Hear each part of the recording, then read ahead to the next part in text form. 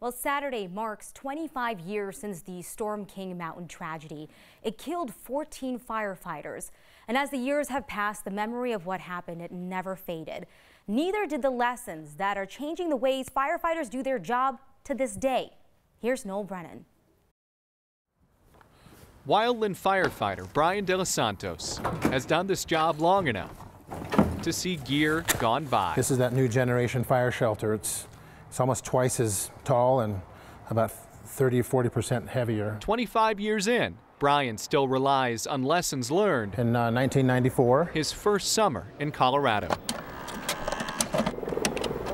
Early this morning, helicopters began searching the hillsides for the missing firefighters. The firefighters were trapped basically uphill from a fire that they didn't know was, was burning. This day broke with rescuers holding out hope that some members of the team might have made it through the night.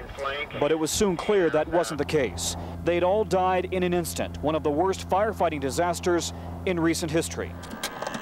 The Storm King Mountain Fire killed 14 wildland firefighters. It rocked the wildland world uh, across the country for the most part. It changed the job. Uh, a crew nowadays would establish before they really got embedded deep into the firefight like, like they were that day, they would establish and flag alternate e exits basically off the hill. Crews now identify escape routes and safety zones. A big enough area that won't burn where you can seek refuge. Fires aren't fought without a lookout. So that's one person that doesn't get down in the you know in the trenches and, and, work. They go up high somewhere and they establish a good lookout position. Firefighters keep a book Fire of standards. It's all color coded on these pages. Close to heart